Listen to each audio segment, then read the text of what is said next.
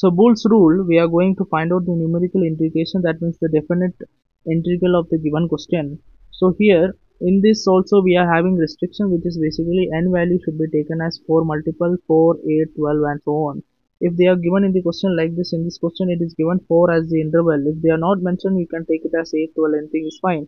But it is better, better to take 4 as the interval because the calculations will be less and the formula is most important thing. The formula you have to remember the definite integral of the given question i is equal to 2x by 45 into y0 y1 y2 y3 y4 you write off. Then 7 32 12 32 7 32 like that. The trick is basically 7 32 12 32 7 32 12 32 so on. Like that this pattern you can remember okay? This is how you can remember or you can uh, find your own way to remember the this thing formula.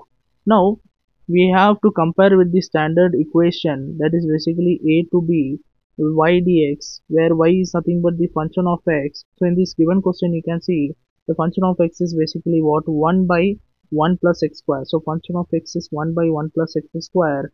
And a value and b value you can see a is the lower limit b is the upper limit. A and b also we know. We have to first find what the h value also. So let us find the h value. So h value is given by b minus a by n where b is the upper limit which is 12 a is the lower limit which is equal to 0 divided by the n value which is 4 so answer will be 3 so the h value will be 3 okay the width. Now we have to form the table. So you can form the table column wise or row wise so i have taken two column wise okay so you can take two row wise also that is also fine.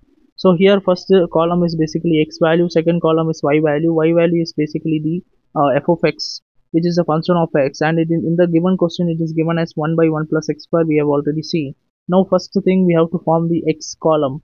X column in order to form the x column the first value will be the lower limit the last value will be the upper limit. But the thing is that how to proceed? The question was basically integral of what? Uh, 0 till uh, to 12 and question was 1 by 1 plus x square dx.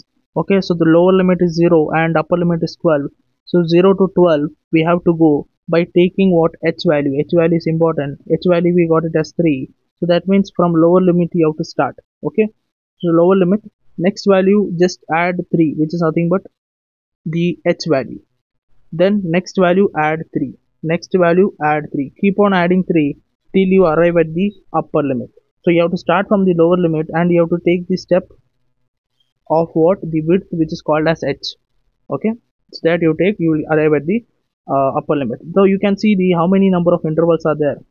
One two three four intervals. As said in the question also n should be equal to 4 it is 4 and how many points are there? 1 2 3 4 5 points are there. So the thing is that if you add to 1 to the interval you will get the points. Right and points are also called as what? Ordinates in the numerical integration. Okay ordinates. And five ordinates are there. If you subtract one you will get what? The interval which is 4 that is also the other way of that. Now here we have to form the second column which is nothing but the y. So here you have to just substitute the corresponding value of x in the given question. So function. So x in place of x just substitute 0 3 you substitute here. 6 substitute here and keep on substituting. So you will get corresponding values. The first value what you are getting corresponding to 0 which will be name it as the notation will be y0 naught. Second value y1 y2 y3 y4 so last value is y4 so y5 i cannot consider because y4 is the last value corresponding to the upper limit. Upper limit corresponding value will be the last value which is y4 so now we have to substitute all these values in the formula. Now substitute all the values. So i is equal to definite integral 2 into h value is 3 into 45 into 7 into y naught.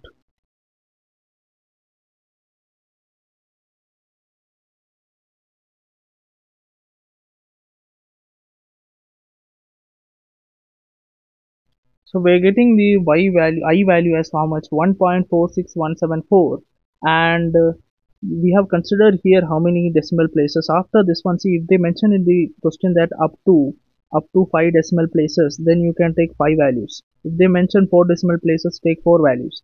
If they have not mentioned you can at least take 4 decimal places. At least take 4 okay? So that will give you more accurate or more nearer value to the actual value. This is not the actual value we are getting. We are getting the approximate value using this all these methods. It will be uh, maybe Weddle's rule trapezoidal Simpson one third 3 8 or the last one this one that is Boole's rule. Now i value we got actual value of i is basically actual value we'll see using the calculator. It is equal to 1.48765 this is the actual value. So we can see there is a slight difference between this actual value and the the value which we got using rule